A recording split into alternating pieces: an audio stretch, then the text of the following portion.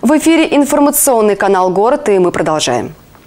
Сомнительный выбор цвета. Кировчане неприятно удивились, а некоторые и вовсе возмутились косметическим ремонтом в городе. Подземные переходы по решению чиновников покрасили в необычный цвет. Теперь стены из гранита имеют светло-коричневый оттенок. Городские власти таким образом хотели закрыть следы вандализма. Однако вместе с этим пропали яркие граффити. У ЦУМа, например, исчезла серия рисунков, посвященная Великой Отечественной войне. Сейчас стены перехода ассоциируются у кировчан не совсем приятными вещами.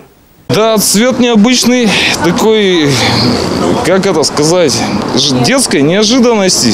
Это психбольница какая-то, знаешь. Как будто меня еще белую робу упакуют и повезут куда-то. Мне кажется, было лучше, я очень сильно удивилась. Было вполне себе красивый очень переход и сделан со вкусом. Что он вам напоминает? общественный туалет. В администрации рассказали, что это вынужденная мера. Чиновникам не понравились нецензурные надписи и рекламные объявления. Изначально планировали отмыть стены, но из-за разных типов краски этого сделать не удалось. Поэтому прибегли к радикальной мере – сплошной заливки. Также власти сообщили, что, возможно, привлекут художников для рисования новых граффити. Однако, зачем был выбран не самый приятный глазу цвет, в мэрии не объяснили. Возможно, это самая дешевая краска.